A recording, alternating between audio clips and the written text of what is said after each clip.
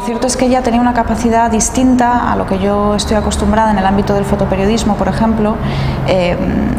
a la hora de transmitir una realidad de conflicto. Eh,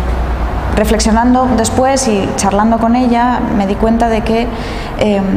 hemos generado los medios de comunicación, la propia profesión fotográfica, ¿no? del fotógrafo de prensa, el fotógrafo, el reportero de guerra, hemos generado una serie de arquetipos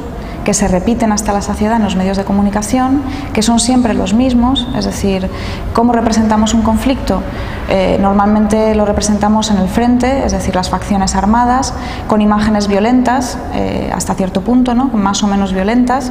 Mm, eh, tampoco se va hasta el extremo en las portadas de los periódicos, pero siempre hay una, iconografía que implica sangre, implica armas, implica... y cuando nos decidimos representar a las víctimas, normalmente nos ceñimos a un arquetipo concreto que es el del campo de refugiados. Y es reducir muchísimo una realidad compleja como puede ser la de un conflicto cualquiera y desde luego el conflicto en Siria. ¿Qué sucede? Que la sucesión de imágenes una y otra vez, tanto en movimiento en los telediarios como en la prensa, siempre las mismas, siempre las mismas ideas, los mismos arquetipos, hacen que el público, quien recibe esas imágenes, nos hayamos inmunizado ante ellas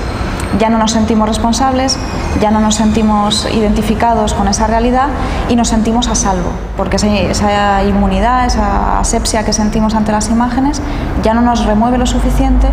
como para en un momento dado indignarnos, pero indignarnos no puntualmente cinco minutos o, durante una semana o ir a una manifestación, sino indignarnos hasta el punto de que nuestros gobiernos, la comunidad internacional se implique y no olvide los conflictos cuando desaparecen de la prensa. ¿Por qué su trabajo es eficaz en ese sentido? Porque ella no recurre a esos arquetipos, al contrario, eh, los rechaza eh,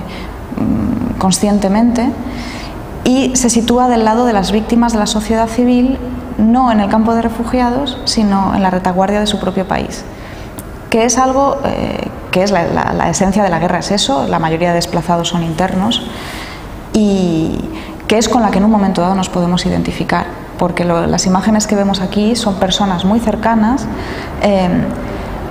con las que físicamente nos podemos sentir identificados al margen de la peculiaridad cultural de si llevan o no llevan velo las mujeres eh, o de si los hombres son más o menos oscuros, porque a fin de cuentas aquí además hay todo tipo de, de personas, ¿no?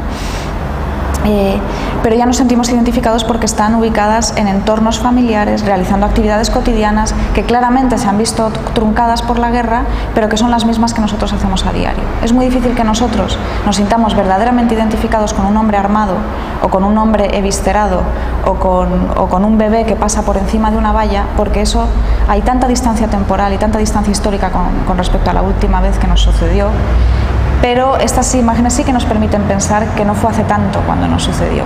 Es importante esa identificación y el trabajo de Carol lo consigue recurriendo al respeto, a una mirada atenta hacia el otro, a un respeto hacia la, persona que va a, fotografiar, que tiene nombres y apellidos, aunque no vengan en una cartela, pero que por tanto ya simbolizan a, personas como, como esta misma y que en un momento dado, sin, desde la voz de la imagen, nos pueden decir entiéndeme, ¿no? comprende lo que me está pasando. Y eso es lo que consigue Carol con sus imágenes. ¿no?